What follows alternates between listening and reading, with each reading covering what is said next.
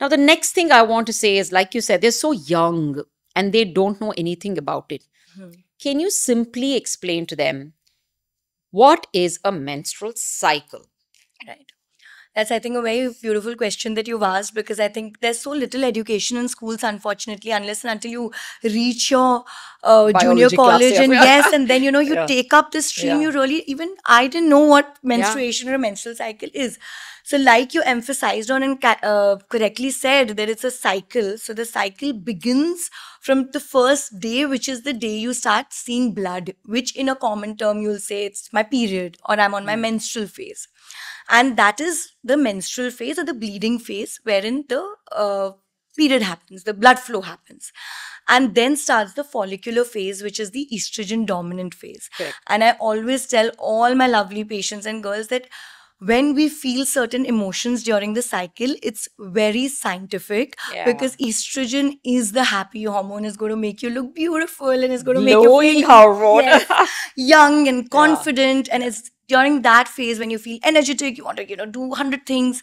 And then comes the, the follicular phase slowly will lead to ovulation, which is very important, not just for people who are trying to conceive, but even for people who want to have a normal cycle. It's this which gets impacted in PCOS, which will eventually lead, lead to a constant rise in hormones and will lead to things like acne, hirsutism, irregular periods. So ovulation is extremely important and that will happen around the 14th to the 18th day. If during that ovulation there is no unprotected intercourse, there is no baby that is formed in the womb, then we lead to the luteal phase, which is the progesterone dominant phase. Here is where you're going to feel gloomy, you're going to have your PMS symptoms, you'll feel bloated, you won't feel like doing too many things, and it's okay.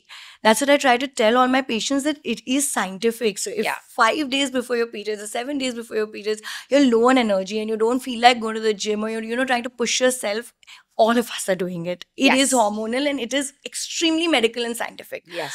And then that is when eventually the luteal phase ends. And if everything is normal, your progesterone, estrogen, all of that then come to a low and then your period flow starts. So it's if you see the graph, it's really beautiful and there are ups and downs. And that's how our moods feel. That's how our skin feels. And that's how we overall feel as women with menstrual flow. Exactly. so, this is why also the skin alters from a great looking skin after your period. But sometimes, for some people, what happens is because you've lost so much iron, you've lost so much blood during that period, the first couple of days could be days of recuperating. But if you're already anemic and if you have lost more blood, you may even end up starting to lose a lot of hair in that period, which is important. So, a cyclical iron therapy may also end up doing a lot good, or simply over the period, taking a supplement which has some iron in it, a low dose iron in it, may also help. Other than that, the estrogen is brimming, so you look most feminine, most beautiful, feel beautiful. So, all of this happens, and that adds to how the skin really looks. Then you have the second part of the face, which is just before your menstruation. Some people do have one or two acne that just comes during the ovul during the ovulation that she was saying when the egg releases there. So that can just happen at that point of time. But most people have it premenstrually because that's the time the progesterone is at its peak.